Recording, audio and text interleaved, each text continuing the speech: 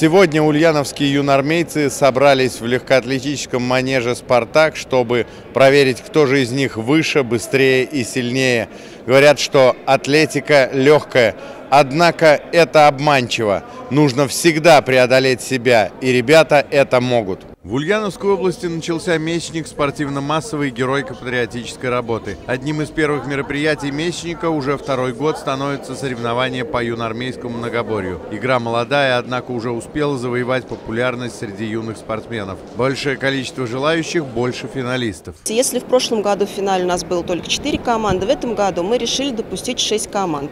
Три команды – это победители э, зон, и три команды прошли по рейтингу.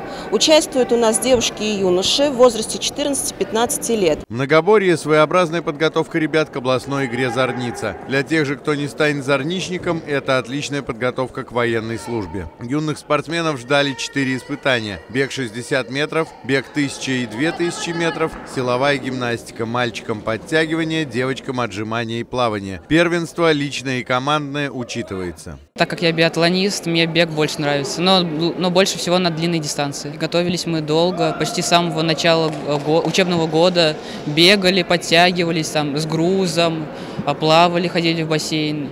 Ну и каждый день занимались там строевой, с подготовкой и огневой подготовкой. Спортивная удача улыбнулась трем командам. Первыми стали гости из школы номер два Новой Майны, вторыми Дмитровградцы, третьими команда Пламя школы номер 47 города Ульяновска. Однако, как и в любых соревнованиях, главное здесь не победа, а участие. Ведь именно благодаря ему молодежь готова защищать свою родину. Павел Половов, Юрий Ломатов, Новости Ульяновской правды.